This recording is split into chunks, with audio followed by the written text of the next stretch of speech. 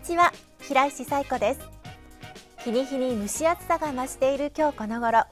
皆さんいかがお過ごしでしょうか？さて三鷹市の市政の動きをお伝えするみるみる三鷹。今回はオープンから2年。利用者が年間80万人を超える三鷹中央防災公園元気創造プラザについて取り上げます。また後半では5月12日に三鷹中央防災公園で行われた総合水防訓練の模様と5月18日に大沢の里古民家で行われた朗読会の模様も合わせてお伝えします。どうぞ最後までごゆっくりとご覧ください。それでははじめに三鷹中央防災公園元気創造プラザについてです。平成29年4月新川6丁目にオープンした三鷹中央防災公園元気創造プラザは防災の拠点としてまた福祉や健康づくり障害学習など多様な機能を併せ持つ複合型の施設です。開設後も利用方法の一部変更や施設の一部改修などを行いより使いやすい施設となっています。今回はそんな三鷹中央防災公園元気創造プラザの特徴や魅力を改めて現地リポートでお届けしていきたいと思います。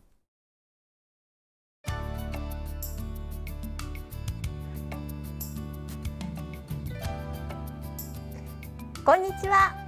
私は今三鷹中央防災公園元気創造プラザにあるスバル総合スポーツセンターのトレーニング室に来ています。こちらにはご覧のようにランニングマシーンや筋トレマシーンなどがずらりと並んでいて民間大手のジムにも引けを取らないかなり本格的な設備ですよね。ということで今回はこのスバル総合スポーツセンターをはじめ三鷹中央防災公園元気創造プラザの各施設の特徴などをリポートしていきたいと思いますこんにちは平石です。よろしくお願いいたします。よろしくお願いします。三鷹市スポーツと文化財団の小林と申します。はい。今トレーニング室からこちらに移動してきましたがここから見える大きなアリーナ天井も高くてとっても広いですよね。そうですね。スバル総合スポーツセンターのメインアリーナは広さがおよそ1600平方メートルありましてバスケットボールのコート2面分の広さになります今私たちがいるのは地下1階の観覧席になっておりましてこの周りは一周およそ170メートルのランニング用走路にもなっているんです。雨の日や夜間にも利用できるというのは嬉しいですね。それにしてもこの敷地の地下にこんなに大きなアリーナがあるなんて外からじゃなかなかわからないですよね。そうですね。それでは施設のご案内がてらせっかくですから外から見てみましょうか。はいお願いします。お願いいたします三鷹中央防災公園元気創造プラザは敷地面積およそ2ヘクタール。敷地内には災害時には一時避難場所となる三鷹中央防災公園と総合スポーツセンターや障害学習センター総合防災センターなどが入る元気創造プラザがあります。この施設の大きな特徴はスポーツや障害学習などを通じた市民の元気創造拠点であると同時に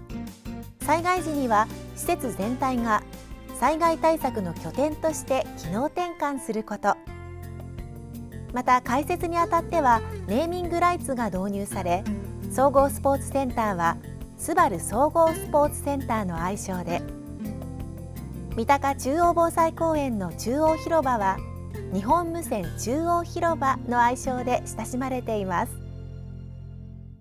メインアリーナから一旦外に出て三鷹中央防災公園にやってきました。ここはちょうど敷地の西側になりますが広々とした芝生の広場や子ども向けの遊具などもあってとっても開放的な雰囲気ですね。はい、えー、三鷹中央防災公園はこの西広場それと反対側にあります東広場また中央にあります日本無線中央広場の3つの広場からなっています、えー、先ほどご覧いただきましたメインアリーナはあちらの中央広場そちらのちょうど真下にあることになっております。えー、あちらに見えます小高く盛り上がっている丘の部分がちょうどアリーナの屋根の部分にあたります、はい、この広場の地下にあんな大きな空間が広がっているなんてちょっと驚きですよね。そうですよねちなみに先ほどのメインアリーナは災害時には救援物資のストック宿にもなるんです。そして元気創造プラザは壁面緑化また隣接しているゴミ処理施設からの、えー、排熱利用ですとか、電気の供給そういった省エネルギー省資源化の取り組みがさまざま施されているところです、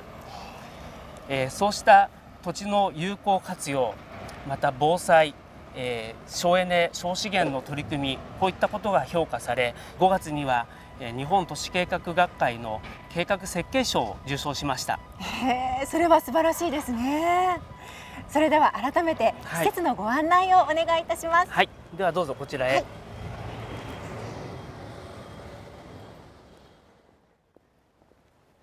気持ちがいいですね。天気が良くて。まずはこの施設の一番の目玉ともいえる、はい、えー、スバル総合スポーツセンターからご案内いたしましょう、はい、えー、メインエントランスを入って左手奥にスバル総合スポーツセンターの入り口があります。1階にはプールをはじめ多目的体育室や携帯操室などがありこちらのプールには25メートルが8コースあるメインプールと2コースの健康増進プールまた幼児用プールもありますこちらの多目的体育室にはちょっと面白いものがあるんですけれども平井さんこちらなんだかわかりますか？あこれは土俵ですね。そうですね、えー、こちらでは相撲の稽古や土俵を使ったちょっとユニークなフィットネスなどが行われています。こちらは携帯喪失になりますがこれってもしかして今人気のボルダリングですか？そうですボルダリングは利用者の方に非常に人気があるんです、せっかくの機会ですので平井さんぜひやってみませんか？えいいんですか、はい、やった。じゃあちょっと登ってみますね。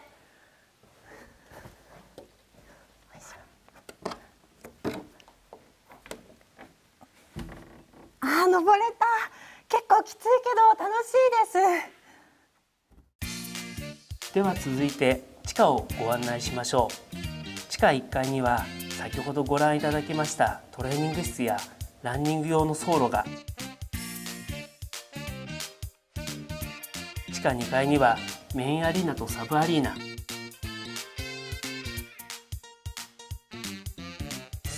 さらに柔道や剣道の練習などで使われる武道場。ダンスのレッスンなどで使われる小体育室などがあります。バスケットボールに水泳ダンスに相撲までさまざまなスポーツが楽しめるんですね。そうですね。ここではヨガやピラティスダンスや水泳などさまざまなスポーツ教室を開催していて昨年度は9万5千人もの多くの方々にご参加いただきました。また豊かスポーツフェスティバルなど市のイベントとしても活用されていますでは次に元気創造プラザに行ってみましょう、はい、元気創造プラザには1階に子ども発達支援センター2階に総合保健センター3階に福祉センター4階に障害学習センターそして5階には災害時に災害対策の拠点となる総合防災センターがありますこちらは4階の障害学習センターです。このフロアには発表会や講演会などが行えるホールや学習室料理実習室などがあり障害学習講座や地域で活動する登録団体の皆さんの活動場所として活用されています。こちらの創作室では陶芸なども利用できるんですよ。こちらには陶芸で使う釉薬も並んでいますしあちらには焼き窯もあるんですね。そうですね。こちらの障害学習センターのそれぞれの施設は普段はご登録されている登録団体の方々がご利用できるようになっているのですけれども夏休みなどには個人の自習スペースなどとして学習室の一部を使うこともできますので、ぜひご利用ください。スポーツや障害学習などいろいろな楽しみ方ができる三鷹中央防災公園元気創造プラザですがこの春から利用方法が一部変更になったそうですね。そうなんです、えー、スバル総合スポーツセンターの利用料金ではこれまでの2時間制の設定に加え1時間料金を新たに設けました。また障害学習センターでは当日予約が入っていない場合には利用時間の繰り上げや延長ができるようになりました。より使いやすくなりましたのでぜひ多くの市民の皆様にご利用いただきたいですね。はい。これからスポーツなど何か新しいことを始めたいという方にもぴったりの施設ですね。今日はいろいろとありがとうございました。こちらこそありがとうございました。三鷹中央防災公園元気創造プラザは三鷹市役所に隣接する新川6丁目にあります開館時間は午前9時から午後10時まで。毎月第4月曜日がお休みです。なおスバル総合スポーツセンターで実施しているスポーツ教室の詳細はセンターのホームページまたは広報三鷹でご覧いただけます。ぜひお気軽にご参加ください。それでは引き続き5月12日三鷹中央防災公園で行われた総合水防訓練と大沢の里古民家で5月18日に行われた朗読会の模様を2つ続けてご覧いただきましょう。これから夏にかけて発生する集中豪雨や台風また局地的なゲリラ豪雨などによる都市型水害に備え水の脅威や水害を防ぐ方法などを参加者の皆さんに知っていただく参加体験型の総合水防訓練が5月12日三鷹中央防災公園の東広場を会場に開催されました。訓練では都市型水防広報体験や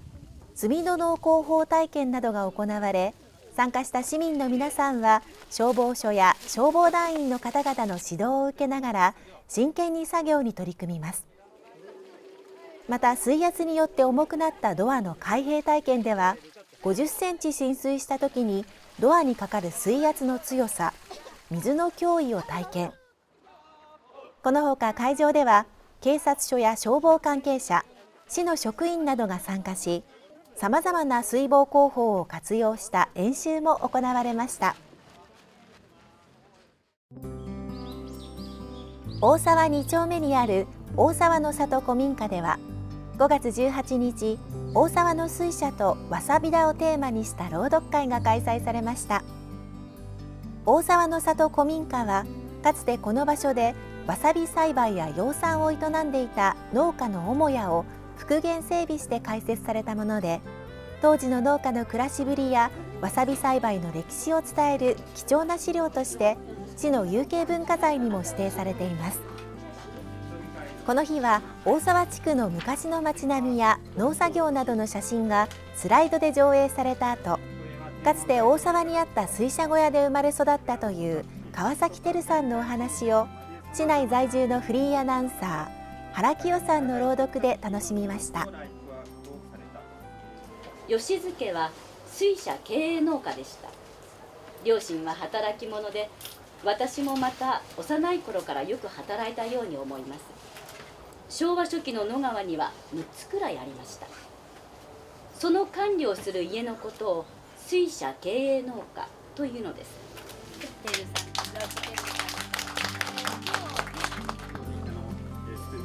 ありがとうございました。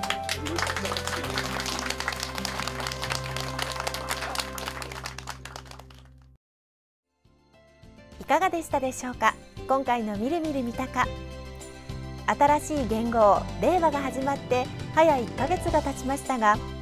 6月は1年の折り返し地点でもあります。残りの半年を大切に過ごしていきたいですね。それではまた次回のみるみる三鷹をどうぞお楽しみに。